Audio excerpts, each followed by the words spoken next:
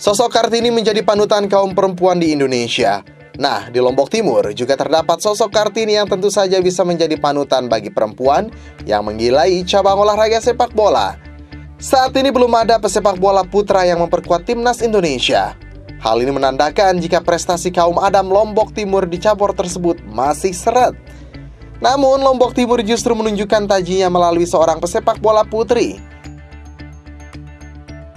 Inilah Bayi Amiatun Solihah, pesepak bola putri 29 tahun asal Loyo, Kecamatan Sikur, yang memperkuat Indonesia di ajang kualifikasi Olimpiade dan SEA Games 2019 Filipina.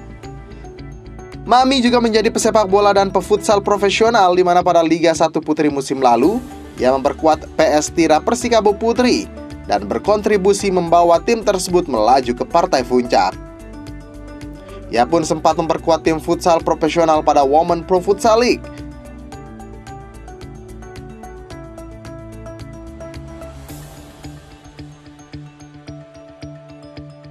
Keberhasilan Bayamiatun Salihah sebagai pesepak bola putri profesional NTB pertama yang bermain di timnas Indonesia tentu menjadi sebuah kebanggaan bagi Lombok Timur. Selain bermain sepak bola, Ami juga menyumbangkan sejumlah prestasi bagi daerah lewat beberapa cabang olahraga sebelum namanya naik lewat cabur terpopuler di dunia ini.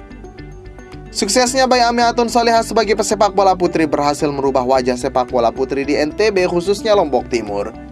Kini telah terbentuk tim sepak bola putri Lombok Timur bernama Pakar Angel yang tentu saja siap untuk melahirkan pesepak bola putri berbakat penerus bayi Amiatun Saleha. Prestasi Ami sebagai pemain berlabel tim nasional dari daerah yang tidak memiliki tradisi sepak bola yang kuat tentu membuat ia pantas menyandang predikat sebagai Kartini dari Lombok Timur.